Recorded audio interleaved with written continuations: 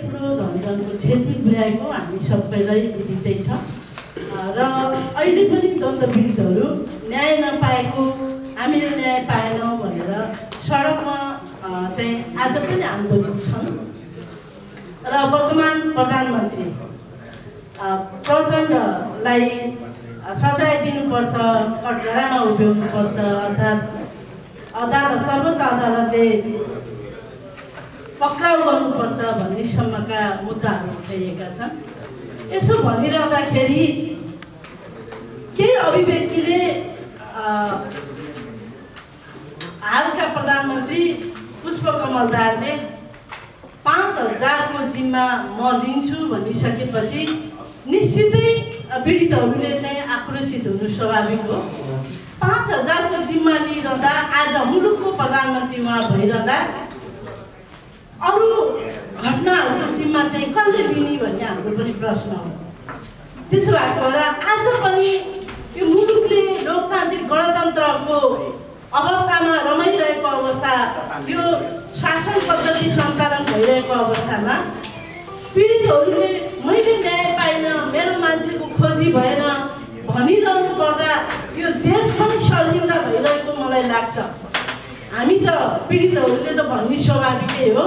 र मानव अधिकारको क्षेत्रमा काम गर्ने तमाम साथीहरू मेरो अनुरोध छ। हिजो पनि हामी सँगै काम गर्दै आयौँ आज पनि सँगै काम गर्दै आएका छौँ। यो विषय यो मुद्दातर्फ हामी सबैको ध्यान आकर्षण हुन जरुरी छ।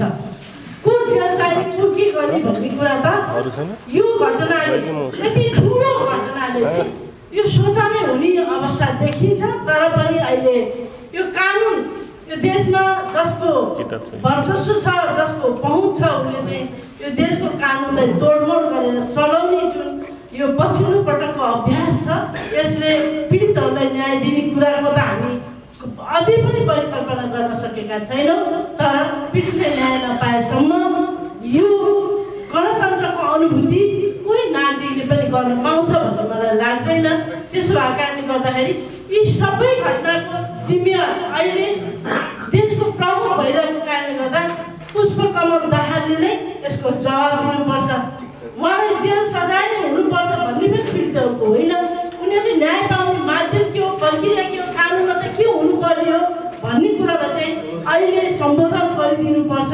र आज पनि पीडितहरूले विचल्ने भएर सडकमा रुनुपर्ने हामीलाई पनि ताकेता आएको आएछ काठमाडौँ ओर्लिनु पऱ्यो आन्दोलन गर्नु पऱ्यो कहिलेसम्म आन्दोलन गर्ने कस्तो आन्दोलन गर्ने अब हामी पनि मर्नु पर्ने हो हाम्रो सन्ततिले पनि बलिदान दिनुपर्ने हो हाम्रा परिवारहरू दिइसकेका छन् र अहिले मुलुक परिवर्तन भइसकेको छ राजनीतिक रूपमा सामाजिक रूपमा आर्थिक रूपमा थुप्रै कुरामा चाहिँ परिवर्तन भइसकेको छ फेरि पनि हामीले पनि बलिदान दिनुपर्ने यो परिस्थिति यो सिर्जना गरिरहँदाखेरि चाहिँ राज्य अहिले कान नसुनेको आँखा नदेखेको मौ भएको हो कि भन्ने लागेको छ त्यसो भएको कारण यो कार्यक्रमबाट बाँकीमा भइरहँदा अर्थात् नेपालमा भइरहँदाखेरि यो विषयमा मानव अधिकारको क्षेत्रमा कार्यरत सबैले चाहिँ यसलाई पीडितको पक्षमा उभिदिएर बलिदिएर यो यो आन्दोलनलाई मत्थर पार्ने अर्थात्